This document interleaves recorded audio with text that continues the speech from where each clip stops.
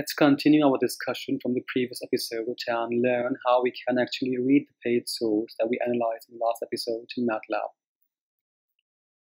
So I will just open MATLAB and create a new script file there and begin writing the code to actually read the page source and save it in a variable in MATLAB itself. So going into MATLAB, I'll create a script file here by going to new file and then script and I'll rename it as read stock data. I'll open the file and I will write three statements which I recommend that you all write when you begin the code for any MATLAB script. So these three statements are CLC, clear and close all. So what these three statements do actually is that they will clear the command window, the workspace, and they will close any figure windows similar windows open respectively. So we can now begin our discussion on understanding how we can actually read the page source for the Yahoo Finance website. Now, in this particular exercise, we will consider that we only want to read the page source for a particular stock company and for a particular period, and that too for a particular frequency of data.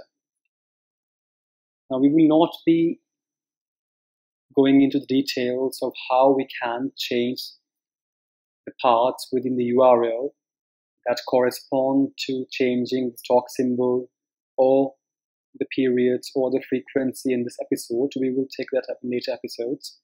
In this episode, we'll only learn how to actually read the, uh, the page source for the Yahoo Finance website and then bring it here in MATLAB.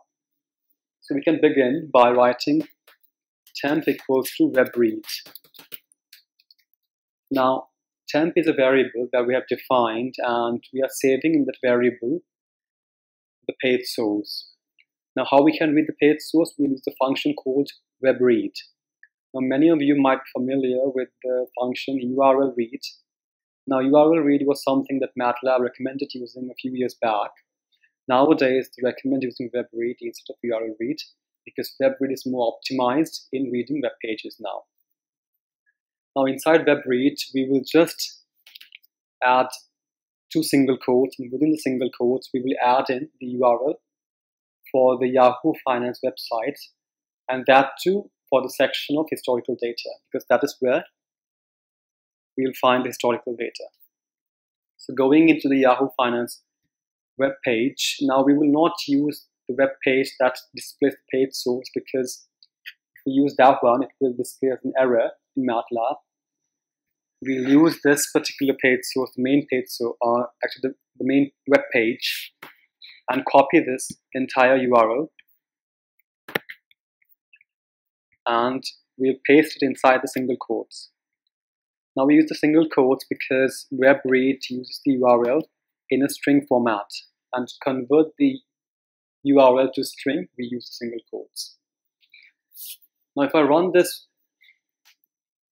function for this script, you will find that uh, in temp we have a very long char array. Now, in MATLAB, the page source is actually stored in the form of a character array like this. And just to verify that uh, this is actually the page source for the historical data section uh, that we actually opened in Google Chrome, what we'll do is we will just check a few phrases, and compare if they match. We'll go into the page source and compare the part from title Google historical prices to Alphabet Inc. stock and see if we can find this particular uh, phrase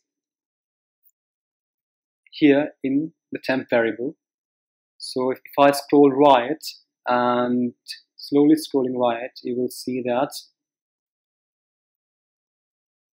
we actually have that term over here that we have title and Google historical prices and a vertical line and then we have Alphabet Inc. stock.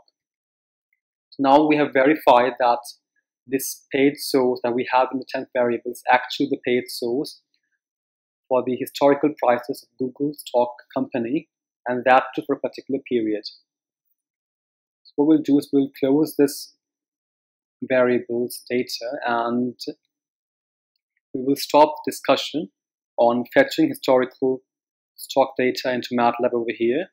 We'll continue our discussion in the next episodes. So in the next episode, we'll discuss how we can actually divide the web page into two parts. One for the important part and the other the unimportant part, and then we will extract the data from the important part.